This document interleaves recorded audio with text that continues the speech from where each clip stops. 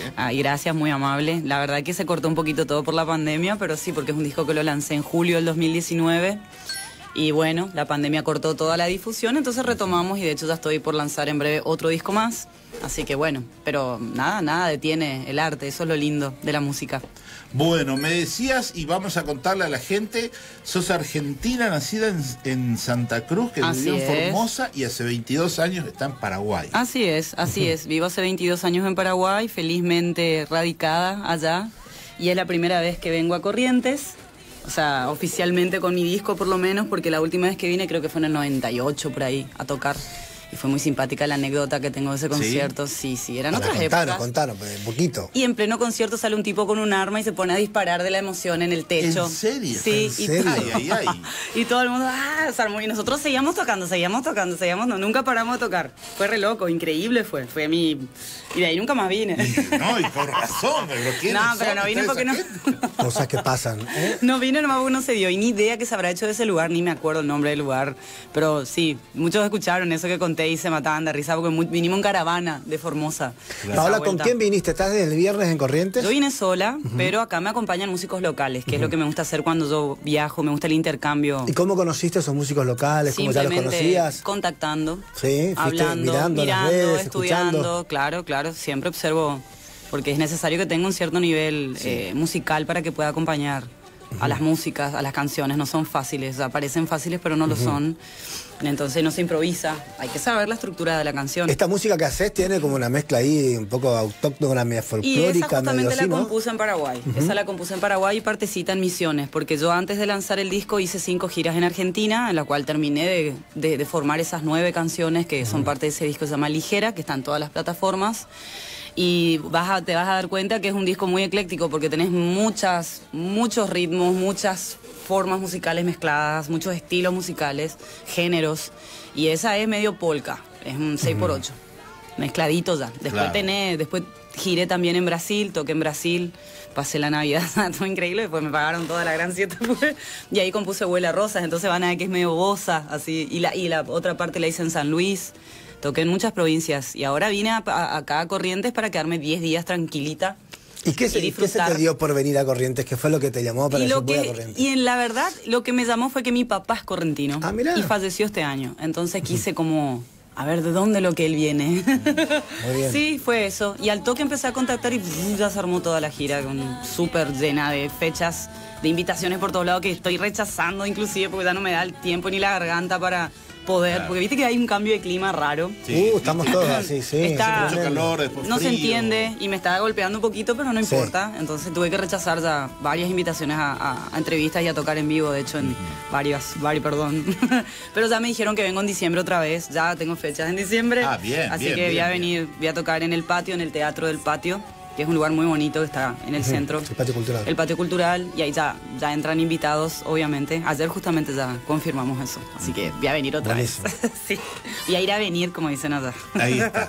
Este, Sí. Bueno, es decir, bueno, escuchando tu música, Sí. eh, vas por la por superar la barrera de los géneros, digamos. Una vez puede Claro, ser algo. se le llama world music cuando es así, o indie world music, porque es una fusión de género justamente, pero la, la- la protagonista son las letras. Como soy compositora, escribo letras. Sí. Y a partir de ahí surge lo demás. Entonces sí, se le llama más o menos así al, al género, por ponerle un cartel. Pero la, la música también te ocupas vos o Todo. escribí la letra y. No, hago todo. Yo soy compositora, soy autora de todo, de todito.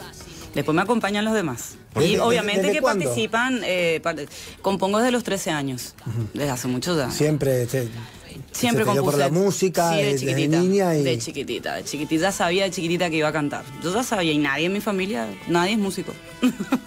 o sea, hasta que después supe que del lado de la abuela había sido que había en México uno que es músico. sos muy independiente, ¿no? Porque se, se ve que andás eh, por la vida así, te vas, Sí, venís a corriente, feliz, te sin presentás. miedo y sin ataduras. Sí, re tranqui, sí, súper bien. Y lo que me gusta es que la gente se engancha a esa frecuencia y se activa en los lugares.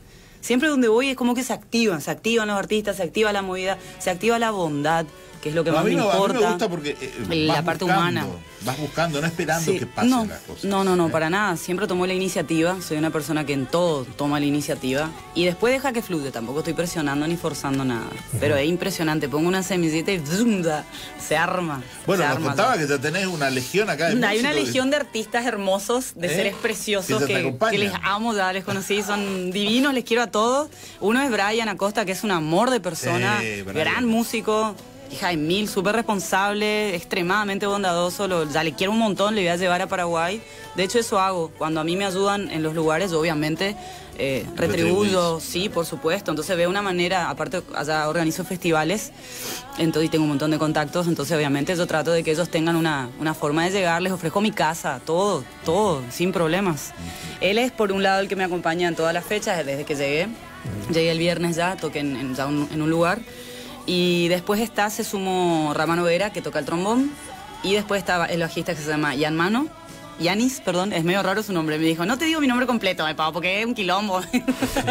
Yanis, así nomás le dicen que toca el bajo. Y la, la invité el viernes. Casualmente ayer conocí una cantante, muy me copó la onda de eso, yo ni sabía qué hacía. Y le, le invité nada más ya.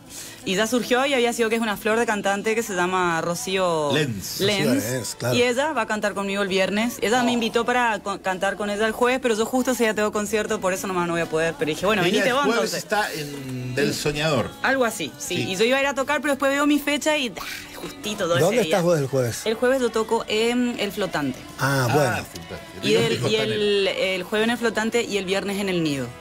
Son los dos lugares donde voy a tocar. Y después el sábado me quedo, capaz que otra vez surge algo. Ya dejé el día free para... Y el domingo iba a haber un festival que cayó. Porque ya tenía una fecha que, que organizaba la municipalidad y bueno, nos salió el presupuesto, no sé qué. Y bueno, no importa, lo dejamos para diciembre. ¿Cómo? O sea, vos te viniste sin nada de esto planeado. Viniste acá y acá salió no, todo. yo tengo todo organizado. Ah, bien. Soy extremadamente Ah, organizada. ok, ok. Vos Pero viniste a Corrientes con todo esto. igual Ah, cosas y que por suerte tengo una, una agenda bastante flexible que yo puedo gestionar otras cosas. Siempre pasa eso. Ok. Surgen lugares su- y ahí nomás vamos. sí, obvio. Bueno, ¿y cómo estás pasando en este Re tu estadía acá en Corrientes? re. ¿Te gustó Ay, Corrientes? yo estoy de vacaciones, yo ¿Sí? estoy re feliz. Como que yo siempre voy de vacaciones. No me es que yo no siento que estoy trabajando, aunque es un trabajo la música. Todo es, eh, o sea, yo creo que cuando vos te dedicas a lo que amás no es un trabajo. No lo ves así, ni lo sentís así. Es un placer. Yo estoy feliz, estoy andando en bici por todos lados. Me fui a las costaneras. Lo único que me reventaron los jejenes. Ah, hija eso- de mil. esos son- No te va a venir a asustar acá. así, hija de. Pero te juro, Sí, una reacción no, alérgica. Están tremendos, están Sí, tremendos, hay mucho están bichito, tremendos, ¿eh? están No hay tremendos. mosquito y hay ese, el es polvo. una de las características que no cuentan. No Por contamos Dios, mucho. Qué bárbaro. qué no, no sabe, pero vos le ves a todo el mundo pa, pa. Chavo el glamour, la chica con la Sí, cámara y ta, no. ta, están ahí. No, me tremendo. maté de risa. Me fui a la playa lo primero, me, me fui al río, el río Paraná, hija de mí. Es preciosa la costanera, qué hermoso que está. Está muy lindo.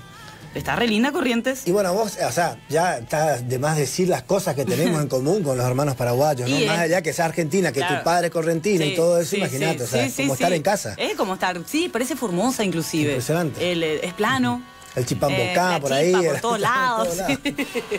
Yo estamos mimetizados, ¿viste? Y la siesta. La que siesta. esté- la siesta, ¿sabes? Me encanta porque no hay nadie así. Me encanta. Es como un, reset que hace falta. Creo que eso es re sano y de hecho en Japón se aplica.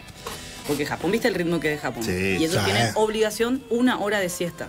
Porque si no te vuelve loco. Muy bien. De hecho, ellos alquilan tipo unas urnitas donde vos te metés y dormís. Ahí salí de vuelta.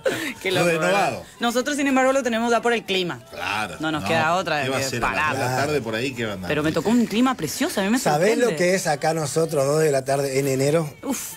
Haciendo este No, no, programa no, y de acá a la fiesta del chamamé, lo que vemos? Uy, uf, Dios. Y bueno, y Ah. Paraguay es igual. Paraguay, hija de mí. Yo para adaptarme al clima ya fue. Me desmayaba todo al pedo, me acuerdo. Bueno, ¿dónde era? contame porque me dijiste que está monopolizado el tema, porque siempre recibimos artistas paraguayos acá que No, nos dan tocar ese otra tema. versión. Como a mí me gusta Sí, escuchar sí. todas las campanas. Sí, sí, por Claro. supuesto. No es un hecho, es una realidad. La ¿Qué industria pasa con la musical. escena musical en Paraguay? Y bueno, hay ciertos, como en todos pueblos, porque como Paraguay es un pueblo grande, yo lo observo hace 22 años que vivo ahí y no veo mucha evolución en ese aspecto. Sí veo una resistencia por parte de los músicos independientes del cual soy parte. Entonces yo lo que hago es simple, yo les facilito una plataforma de festivales, invito a gente todo el tiempo y eso hace que se visibilicen y por lo menos es una motivación. Porque si vos te quedás con la realidad, te desmotiva. Realmente, porque Paraguay no es tan grande, más allá de que hay hoy en día, después de pandemia, por suerte, se abrieron un montón de bares nuevos y qué sé yo, pero lamentablemente hace un tiempo atrás se empezó a implementar el sistema de, las productoras. Las productoras lo que hacen es tienen un catálogo de artistas que a ellos les gusta, o sea, no hay un criterio artístico para elegir. Hay una cuestión comercial, neta, y de amiguismo. Entonces, de esa manera, ellos tienen su catálogo y ellos ofrecen su catálogo a ciertos bares que eran los que pagaban cachet a los artistas del cual yo toqué miles de veces antes de que surja el monopolio este. Son sistemas como que mm, quieren hacerle fácil al bar por un lado, famoso, viste, no, mira, yo tengo esto, esto, esto, olvídate, te armo la agenda todo el año, que me parece genial, pero se volvió muy cerrada la cuestión de que no ingresan nuevos artistas. Si no entras en ese circuito, digamos, no. Si no sos amigo de Mengueche, Menchonchón, ya fuiste. No, no entras y no entras. Eh. Bueno, acá fue muy promocionado el Reciclarte, el festival, y inclusive fueron algunas Sí, y bueno, el Reciclarte es... Yo no participé nunca en Reciclarte y mi historia es la historia de cientos de artistas nacionales incluso, porque yo me considero paraguaya, tengo residencias, un montón, vivo hace más de la mitad de mi vida que vivo allá, pero lo simpático es que me siguen tildando pues de Argentina, entonces como que otra vez, encima otra vez que ya tenés que pasar por eso, sos mujer otra vez y encima otra vez curepa. Completito. Entonces a mí me costó muchísimo hacerme espacio, pero yo tengo la ventaja de que soy buena gente y hago lo que tengo que hacer y soy sincera y digo la verdad y no le jodo a nadie y lo que digo hago, no soy hipócrita ni, ni me contradigo con mi forma de vida y eso solo ya te abre puertas. De por sí, ya por ser así, eso ya te abre... Yo toco con grandes artistas, mis músicos ya son impresionantes, todos de nivel internacional, todos fueron a Europa a tocar o hicieron becas allá o... Monstruos son, o sea, yo estoy apadrinada muy bien allá y de hecho tengo la suerte de que cuando salgo del país, que soy una de las pocas artistas mujeres, del, circuito que tiene tanta cantidad de giras, y lo digo con orgullo, no, no, no me voy a callar de algo que cuesta mucho trabajo hacer, a mí nadie me regala nada. Y cuesta mucho porque hay que trabajar para que eso salga bien. Porque a veces vos llegas, organizás todo y a veces surgen imprevistos. Y después depende de tu actitud cómo te tomas el imprevisto. Yo lo tomo de la mejor forma. Siempre. Y eso parece que parece que pasé la prueba y ¡tum! salen, salen, salen más invitaciones. Pero hay que tener garra para hacer esto, hay que tener visión de inversión porque a veces el artista es un poco cómodo, cree que te va a caer nomás. O sea que vos decís que, por ejemplo, tu condición de Argentina por allí te... Sí, por supuesto. un poco. Y sí, un poco sí, no es que me beneficia, de hecho al principio no me benefició en absoluto. ¿Pero por qué Te bulean, te hacen bullying. Y porque es así, porque son celosos. teniendo en cuenta... Son eh, inseguros, hay una perdón, inseguridad. Perdón, pero teniendo en mm. cuenta... Yo hace mm. poquito estuve en Asunción y en, un festival de música donde todas las canciones sabemos que es eh, la referencia argentina que hay, digamos. Pero no va pues por ahí. Mm. No va por... Eso, Vos ten en cuenta que hay varias generaciones. Claro, hay varias generaciones. Una cosa es que te, que, que te idealicen ¿verdad? El problema de la idealización es ese, que así como subiste, tiran al piso, ¿entendés? No hay una cuestión realista, humana, porque estamos hablando de una cuestión espiritual ya, ya no es una cuestión, y cultural, de educación. No te olvides la, historia de Paraguay, no te olvides que es un país donde un libro sale carísimo, eh, la educación es malísima, es malísima la educación pública de ese país, ¿entendés? Entonces, bueno, evidentemente que eso repercute, porque existe Internet no quiere decir que la gente esté más informada o más educada. Porque si no tenés la educación, ¿cómo después navegás? ¿Cómo buscas? ¿Qué seleccionas en Internet? Es el problema que existe en la generación de ahora. Pero Internet también te abre un poco la cabeza. Entonces, eh, la generación de ponerle de gente de 20 años para adelante hasta los 30 y pico ya está, evidentemente es otra mentalidad. Yo ya vengo de otra generación, yo hago música hace 26 años. Entonces yo me morfé ese primer tramo de 10 años en donde si vos no hacías cover, no existís. Yo tuve que hacer cover en Paraguay. Yo nunca hice cover. Pero acá sigue pasando también eso, ¿eh? Vos te vas a tocar un bar y te piden los covers, ¿viste cómo es? Eh, lo bueno es que existe el mercado, para lo que vos. El sol sale para todos. Sí, sí. Y está todo bien. Para no, no es indignante hacer cover. No, por supuesto. Yo trabajé de eso 10 años, más de 10 años. De hecho, hay bandas consagradas que lo siguen haciendo. Y está todo bien. Pero yo elegí salirme ya de ese circuito porque artísticamente a mí me estaba chanchando. Me, claro. No te da pues tiempo de hacer todo. Porque lleva mucho tiempo sacar temas de otros también y hacerlos bien, no hacerlo bye bye, hacerlos bien. Y yo soy muy, muy perfeccionista. Entonces, además de hacer otra vez, yo hacía mis versiones otra vez, con arreglos propios otra vez. No es que me gusta hacer el tributo así igualito. Claro. Hice también. Acá conociendo Rusia le pidieron un visa en el Tarahuito, corre eso por vos. Y bueno, está, bien, porque quiere decir que mejoró la versión. Y es un arte hacer eso también. Por supuesto. Esas cosas sí me gustan hacer. De hecho, en mi- dentro de mi repertorio me echo con temas de otros autores que a mí me, me encantan y hago mis versiones y me encanta. A- a- a- autores o artistas eh, acá nacionales argentinos que tengas de referencia, bueno, influencia. Spinetta siempre, obviamente, sí, todo, casi todo lo de la generación de los 70 todos, eh, Cerati, eh, Spinetta. Y después tenés grupos ya que son, pero que no hago cover de ellos, sin embargo, me encantan como Masacre, qué sé yo. Eh, no me vienen tanto ahora, porque la verdad que no consumo tanto rock nacional de acá. Soy un poco más para otro lado. O sea, escucho música, mucha música de muchos Claro, países. sí, por y de todo, hay tanta música que te falta el oído para escuchar con internet. Claro. Ese es el tema de internet. Sí. Que tenés. mm, Hasta encontrar discos que ni encontrabas antes. ¿Entendés? Que yo, uy, mira, encontré este disco. Y que entra en un cassette todo roto, así destruido. Y bueno, era, era lo que había. ¿entendés? Bueno, Paola, contanos, ¿dónde te encuentra? ¿Estás en YouTube, Spotify? En toda, estoy en Todas Deezer, Estaban viendo un Amazon, video, vamos a ver si lo pasamos mientras hablamos, ¿eh? Spotify, en todas las plataformas está el disco. Ahí lo van a encontrar completo y está el videoclip que es Late, que es el single del, del- del disco, digamos, que bueno, me quedé corta, tendría que haber hecho dos, dos videos más, pero bueno, me agarró la pandemia y bueno, y ya fue.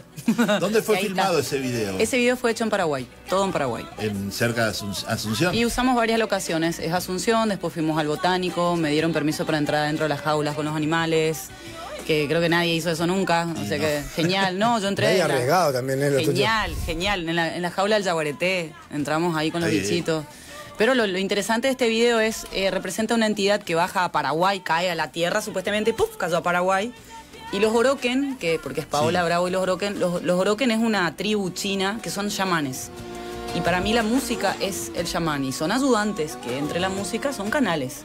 Entonces muestro que cae, ve a un tipo que quiere agarrar el árbol, que ya lo quiere mutilar. Ese, eso también lo eh, planeaste vos, digamos. Sí, sí, guion. yo hice el guion del video, de hecho filmé parte del video, edité parte del video porque hago, hago audiovisuales, pero con mucha humildad, tampoco es, güey, Hollywood. No, pero está buenísimo, sí. Está buenísimo. Pero bueno, te- creo que la- el mensaje es- está bien plasmado, muestro la cultura, la locura también, ¿verdad? Porque vos ves todo lo lindo y después empieza la densidad, ¿entendés?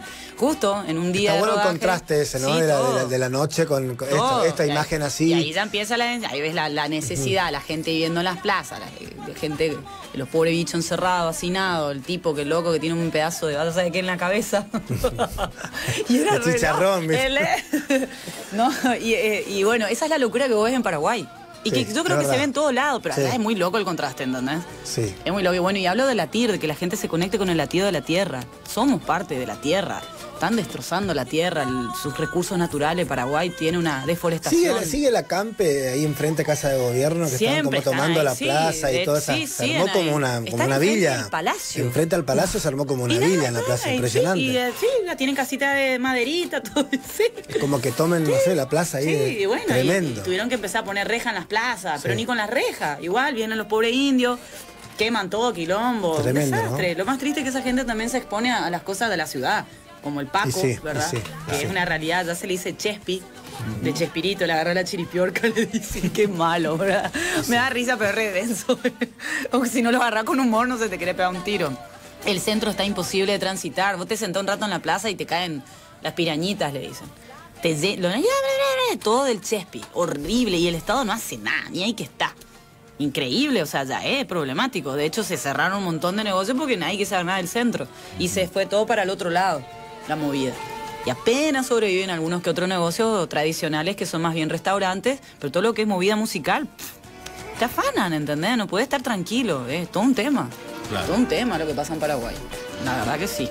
Muy bien, Paola, muchísimas gracias por la A visita. ustedes. Gracias, Paola. Nos Gracias. enteramos que bueno, tenés una gira aquí por Corrientes, vas a estar es. en el flotante el El flotante estoy el jueves. Jueves. Y el viernes estoy en el nido. y el del Lido por Sí. Calle La Rioja, el Nido Así es. 445, ahí está. Sí, este, la gente la sabe dónde queda. Si no, Sí, pueden sí, mirar sí. en las redes que estoy como Paola Bravo Mus, de músico. Ahí está. Sí. Y ahí estoy subiendo todos los flyers de, y de hecho está el resumen de toda la gira, incluso de los medios de comunicación también, que fueron muy bondadosos. Y me encanta que sean así, porque gracias a ustedes que la gente escucha acá radio todavía. La gente escucha radio en, Por supuesto. en la Gracias a provincia. Allá nadie le da bola a la radio.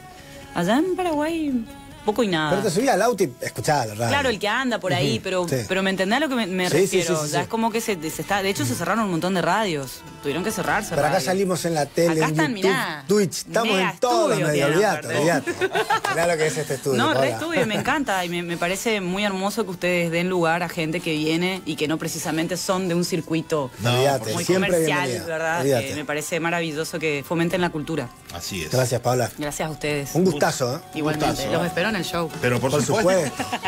Nos vamos, querido Renzo, vos tenés que agradecer. Nos algo. vamos, nos vamos en el próximo bloque, te agradezco. Bueno. Recuerden que estamos sorteando entradas para los cines de la costa para que vayan a disfrutar de las mejores, de los mejores estrenos nacionales e internacionales con la mejor calidad de imagen y sonido en el, mejor lugar de la ciudad, en la costanera. ¿eh? Simplemente tienen que seguir nuestras redes arroba show continental, nombre últimos tres del documento y están participando como todos. Pausa, ya venimos. Dejamos de respirar por un segundo. Soberana? Señoras y señores, la fiesta nacional de la naranja tiene nueva soberana.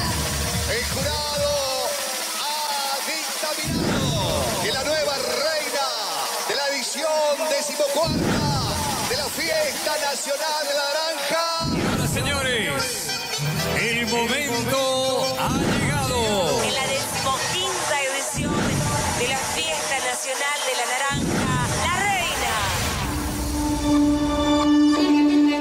Pasaron 20 años desde que elegimos dar a conocer nuestro lugar, nuestra producción y nuestra gente a todo el país. Tenemos 20 ediciones de una fiesta nacional que nos representa, que nos incluye y que nos encanta mostrarla. Somos Bellavista y queremos gritarlo con orgullo. Gritar que somos productores de una diversidad de frutas y hortalizas, pero que también producimos coraje para crecer y amor por lo nuestro. Así llegamos a la vigésima edición de la Fiesta Nacional de la Naranja y la Diversidad Productiva 2022. Para vernos y encontrarnos. Porque del 18 al 20 de noviembre, el complejo polideportivo se pone de fiesta. Llegan grandes artistas nacionales y grandes emociones al escenario mayor. Desde el viernes y hasta el domingo se abre la Expo Frutos más representativa de la región donde instituciones, industrias y empresas mostrarán sus ganas y su potencial de seguir haciendo crecer a Bellavista. Y el viernes 18, en el escenario mayor, vamos a comenzar el show con el desfile de nuestras reinitas del azar. Estarán nuestros artistas locales, junto a Trébol de Aces y los Sheridan. Que son plebitos, y van con el brazo.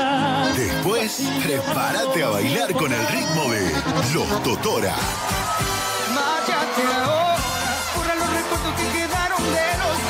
Y el cierre del viernes será puro salto y canto con Capanga.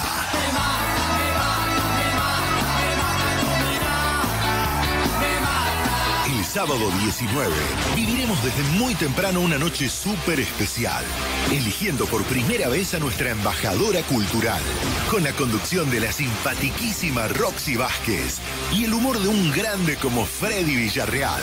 Un sábado especial con artistas consagrados de nuestra música como los de Imaguaré. Traigan el vino más vino, traiganlo acá. El ritmo de la cumbia santafesina de Los Palmae. Y un cierre súper esperado con un artista grande del pop latino. Llega Coti Sorokin. Y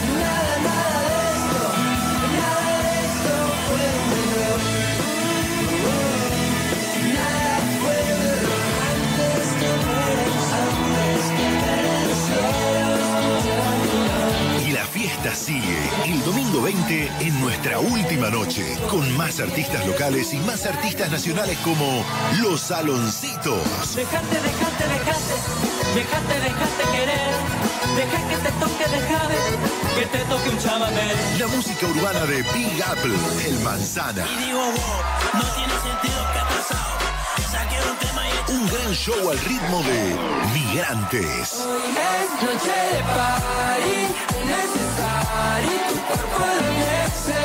Y prepárate para el final de la fiesta con la fuerza de La Berizo.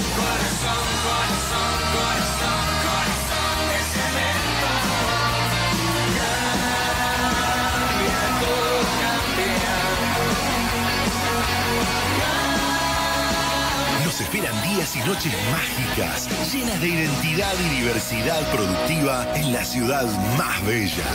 Bellavista te espera el 18, 19 y 20 de noviembre. Fiesta Nacional de la Naranja y la Diversidad Productiva.